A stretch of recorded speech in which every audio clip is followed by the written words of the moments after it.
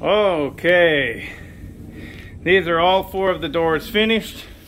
Irene is applying the finish on the doors. And uh, I think they look great. Um, now there are slight little gaps in each of them, you know, in places, but they're they're minuscule and they're meant to be barn doors. They are barn doors. They're not really finished high-end doors. It's not the look we're going for. So, but this is all almost 100% wood that we made on our sawmill. The only exception are on the outside of every door. Bam, bam, right? The outside uh, boards are uh, of pine that we got from the lumber store. It's actually this stuff right here. It's um, it's like pine siding stuff, right? The reason uh, we did that is because all of our stuff, um, the sweet gum and the hickory, wasn't quite straight enough to go. I mean, that's almost seven full feet uh, in in height right there, and so we would have been wasting a lot of wood because it was bowed. So these were straighter. That's why we use them for the outside edge. The rest of the stuff is all cut right here in the middle. They're not full length. If they were full length, then we would have had the same problem with them bowing tremendously. So we cut them. Every time you cut them, you're, you're taking uh, the bow out.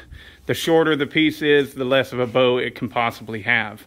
And then we ran them through the planer, I'm sorry, the uh, uh, jointer or the edger to get them as straight as we could. And uh, they, you know, we got pretty darn straight, pretty good, you know, and they look fantastic. This sweet gum, um, whenever you cut it small, the smaller you cut anything, the less it's going to crack and split on you. Because the reason it cracks and splits is because you have an amount of wood that wants to go this way and an amount of wood that wants to go this way.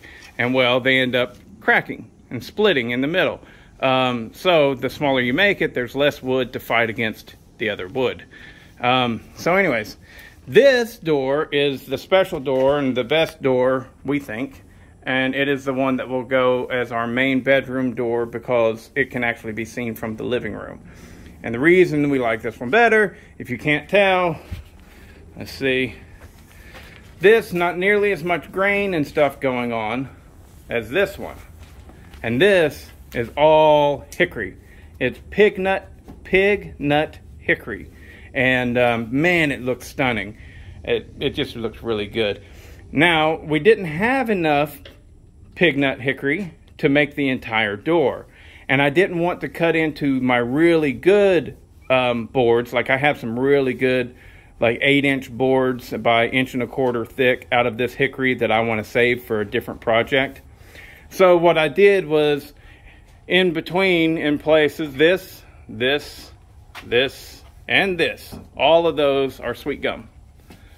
So the sweet gum inner, you know, dispersed within there, one, two, three, four boards of sweet gum, right?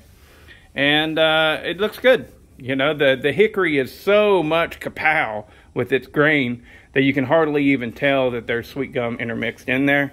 And, um, you know, even if you can tell, it's fine. It looks good.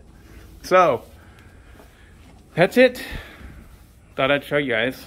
And uh, we're loving it. Can't wait to hang these. And I'll show you whenever I get them hung in the hallway.